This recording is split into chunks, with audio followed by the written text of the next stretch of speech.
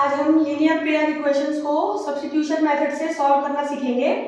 तो हम इसमें सेकंड इक्वेशन लेंगे, जो कि है x minus y is equal to four तो x इज़ इक्वल टू क्या हो जाएगा? फोर प्लस वाई तो जैसा कि आप जानते हैं कि साइड चेंज होने पर साइन भी चेंज हो जाते हैं पॉजिटिव निगेटिव हो जाता है और निगेटिव पॉजिटिव हो जाता है।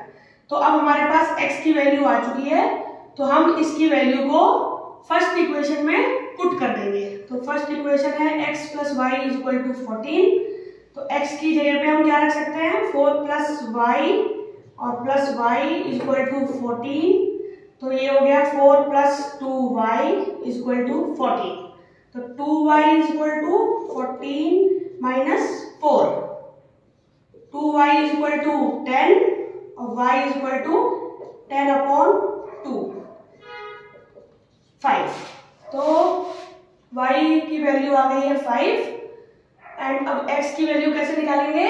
x is equal to four plus y x is equal to four plus five x is equal to nine तो here we get x and both. Answer